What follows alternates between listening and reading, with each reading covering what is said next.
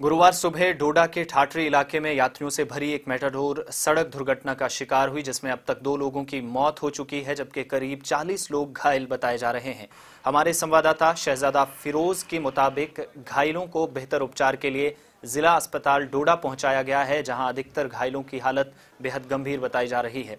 हादसे का कारण ओवरलोडिंग बताई जा रही है, जबकि इस बात की भी आशंका जताई जा रही है कि मरने वालों की संख्या में इजाफा हो सकता है।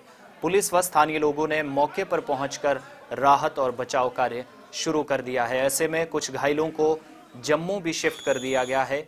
इन घायलों को हेलीकॉप्टर के ज़रिए जम्मू लाया जा रहा है ताकि इनका इलाज और भी अच्छे से हो सके।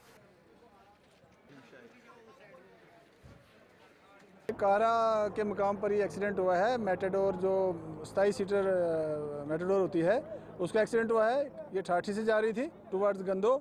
तो ये कोई 500-600 फुट जो है नीचे रोल डाउन हुई है।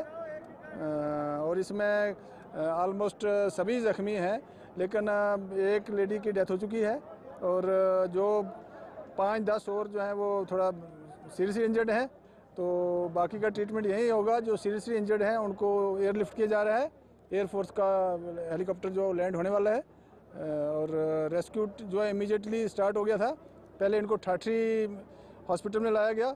वहाँ से प्रीलिमिनरी ट्रीटमेंट करके डोडा इमीडिएटली भेजा गया। एंबुलेंस सामने सात आठ जो है वो मुहैया कर ली थी हर तरफ़ से। पुलिस की एंबुलेंस भी गई आर्मी की भी हमने कॉल कर ली थी। तो अब इनको जम्मू शिफ्ट किया जा रहा है जो सीरियस इंजर्ड है। तो ये कहाँ पे हुआ कहाँ से कहाँ जा रही थी? ये फ्रॉम ठाठी ठाठी से ये गद्दो की तरफ़ जा रही थी और कारा के मकाम पे हुआ है।